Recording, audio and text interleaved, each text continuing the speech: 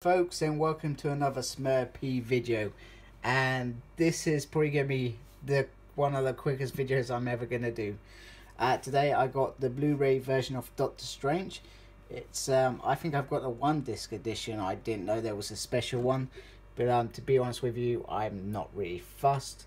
So here's the front, Doctor Strange and all the weird crazy magical stuff in the background and different realities.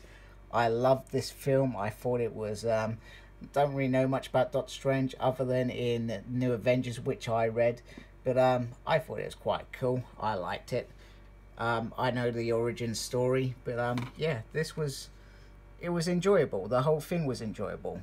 Comedy, the action, the villain, and it's just it's just spot on.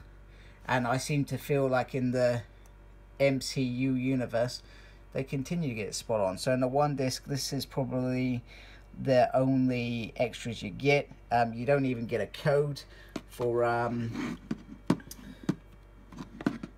to put it on your iPad, which I find actually quite annoying. The fact that I've probably spent 16 quid on this, that you don't get that. That that's really quite annoying because I would have liked to put that on an iPad. My son likes watching these you know, and sometimes it's just easier to say, hey, I'll watch on my tablet while you, you watch your soaps, etc. Wife, you know.